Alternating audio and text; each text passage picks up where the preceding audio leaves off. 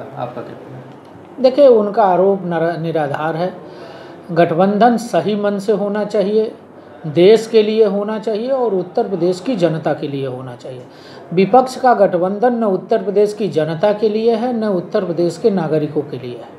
विपक्ष का गठबंधन अपने स्वार्थों की पूर्ति के लिए समाजवादी पार्टी, बहुजन समाज पार्टी और कांग्रेस गठबंधन का ढोंग रच रही है। इस नाते भारतीय जनता पार्टी के ऊपर मिथ्या आरोप लगा रहे हैं।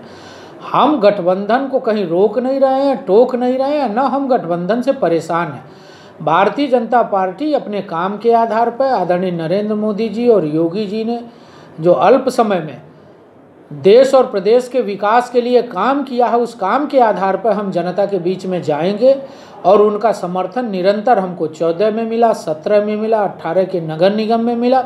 और आगे उन्नीस के चुनाव में भी उत्तर प्रदेश की जनता का अपार समर्थन आदरणीय नरेंद्र मोदी जी को प्रधानमंत्री बनाने के लिए मिलेगा और भारतीय जनता पार्टी भारी बहुमत से जीत के केंद्र में सरकार बनाएगी।